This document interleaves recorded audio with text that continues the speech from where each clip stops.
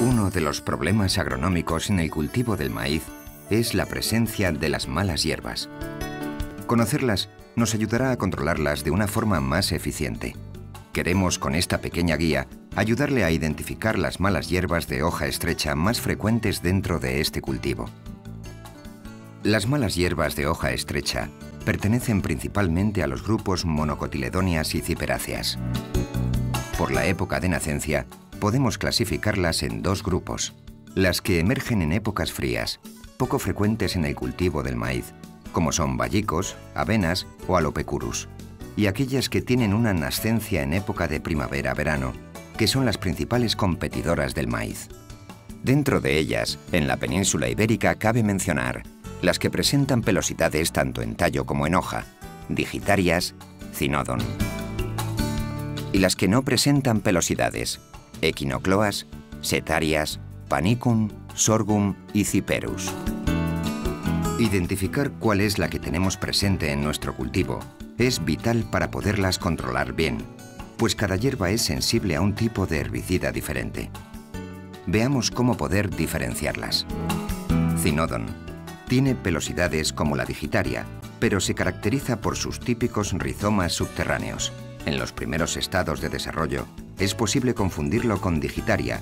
Para diferenciarlo en ese momento, debemos extraer la hierba y si presenta estolones, estamos frente a un cinodon. Para diferenciar digitaria del resto, debemos tener en cuenta que digitaria tiene la vaina cilíndrica, lígula membranosa y dentada, con hojas y tallos con pelosidades. Digitaria se confunde con mucha frecuencia con equinocloa y con setaria. Equinocloa y setaria no presentan pelosidades antes de floración y poseen una vaina muy aplanada. Para poder diferenciar una equinocloa de una setaria, hay que comprobar la existencia de lígula. Setaria sí tiene, mientras que equinocloa no. Sorghum no presenta pelosidades. Tiene una tonalidad rojiza cuando es joven, con un nervio central muy marcado y blanquecino. Posee lígula un porte erguido y unos rizomas característicos. Por último, Ciperus, conocida vulgarmente como juncia, presenta un tubérculo subterráneo y el corte transversal de sus hojas tiene forma triangular. En resumen, plantas con pelosidades, digitarias y cinodon. Digitaria con lígula membranosa y cinodon con rizomas. Plantas sin pelosidades. Equinocloas, setarias, panicum, sorghum y ciperus. La equinocloa sin lígula. La setaria con ella. Panicum con lígula transformada en pelos.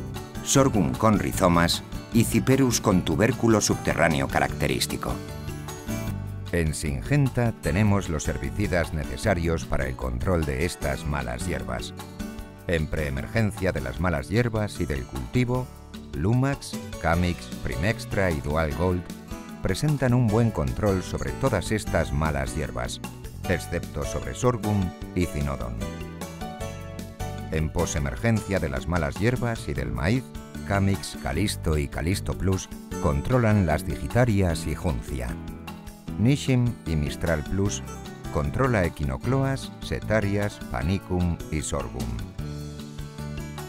El humis controla todas las malas hierbas de hoja estrecha, incluida digitaria, pero no juncia.